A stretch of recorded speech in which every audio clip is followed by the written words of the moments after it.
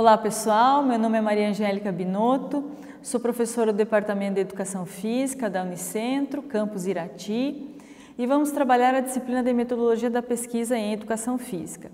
Essa é uma disciplina que eu já venho trabalhando ao longo do curso, né, nas aulas presenciais, e particularmente nessa videoaula vamos falar sobre a importância da pesquisa científica na formação profissional, e falar sobre os aspectos éticos em pesquisa.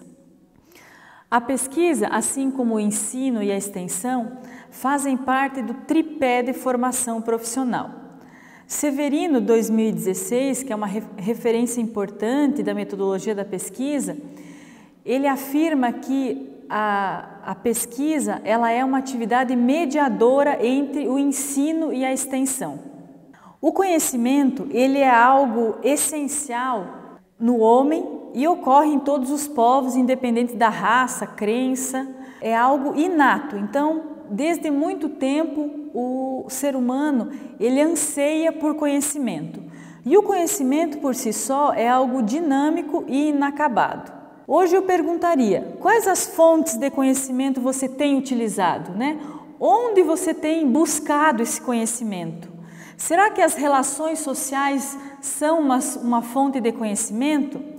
Será que é, o avanço da tecnologia não nos disponibiliza esse conhecimento de uma maneira mais rápida? Então, são questões para a gente pensar em relação a onde a gente tem buscado e constituído o nosso conhecimento. Bom, mas enfim, o que é pesquisa? Existem vários autores que conceituam, né, é, que definem pesquisa. Eu utilizo alguns na minha disciplina e é baseado neles que eu trago é, essa, esses conceitos de pesquisa.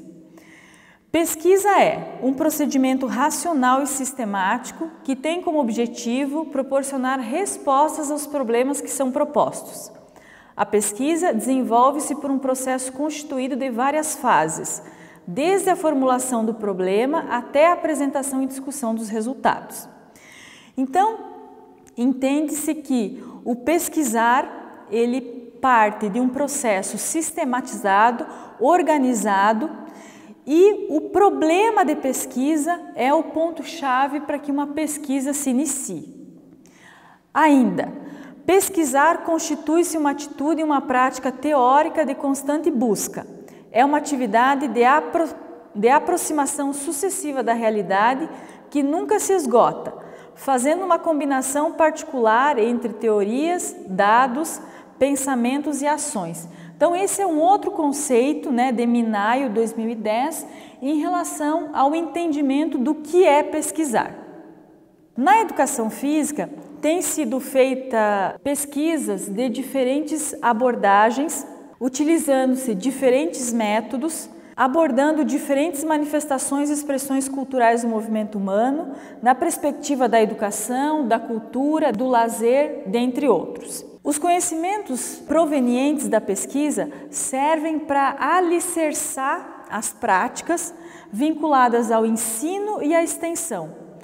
É, e de uma maneira geral, elas se complementam, né? É aquilo que eu comentei no início, né? Ensino, pesquisa e extensão são tripés da formação profissional em qualquer área do conhecimento. Na educação física não é diferente. Agora vamos falar especificamente sobre ética em pesquisa. É algo é, muito sério, né? Que é, devemos conhecer desde a formação, desde a base, desde o primeiro projeto de pesquisa que formos estruturar. Então, o grande documento que norteia as diretrizes e normas reguladoras de pesquisas envolvendo é, seres humanos é a resolução número 466 de 12 de dezembro de 2012. Né? O que, que essa resolução estabelece? Ele é um documento que todos é, devemos ler e nos apropriar do que essa resolução propõe. Na verdade, ela visa assegurar os direitos e deveres que dizem respeito aos participantes da pesquisa, à comunidade científica e ao Estado. Enfatiza que os projetos de pesquisa envolvendo seres humanos deverão atender a essa resolução. Então, a resolução tem é, os subcapítulos e cada subcapítulo ela aborda uma temática em específico. Destaco aqui para a importância da leitura da resolução como um todo, mas dos aspectos principais que envolvem é, termo de consentimento livre esclarecido, é, a preservação do anonimato das informações dos participantes. Então, destaco alguns aspectos, mas reforço a importância da leitura do documento como um todo. Falaremos nesse momento sobre ética em pesquisa científica. A ausência da ética é, na pesquisa científica traz para a comunidade acadêmica os casos de plágio. Plágio nada mais é do que você se apropriar da ideia né, é, de alguém sem citar a fonte. O plágio acadêmico é aquele é, praticado no âmbito da universidade, do ensino, da pesquisa, que consiste então na apropriação indevida de produção técnica ou científica do conhecimento. Então, é você se apropriar da ideia de alguém e não referenciar o autor dessa ideia. E o plágio, de acordo com a legislação brasileira, ele se configura como uma fraude é, relacionada aos direitos morais e patrimoniais do autor. Então é importante estarmos atentos e toda vez que usarmos a ideia de outro, referenciar a fonte, ou seja, quem que é o autor dessa ideia. Para minimizar ou evitar os casos de plágio na universidade, tem se adotado normas e técnicas específicas, como por exemplo, as normas da Associação Brasileira de Normas e Técnicas, que é a ABNT. Existem outros exemplos, porém essa é bastante utilizada.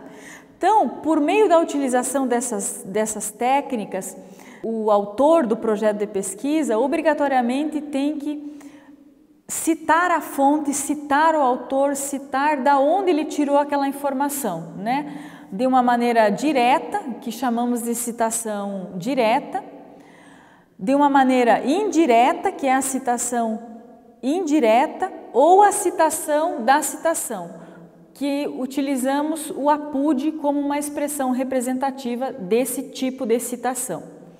Então, a utilização das normas da ABNT, elas fazem com que minimize né, esses casos de plágio acadêmico, é, ou seja, vinculado às universidades. Espero que vocês tenham compreendido os conteúdos abordados na videoaula. Me coloco à disposição e aguardo todos na próxima videoaula que falaremos sobre as diferentes fases da estruturação de um projeto de pesquisa. Obrigada.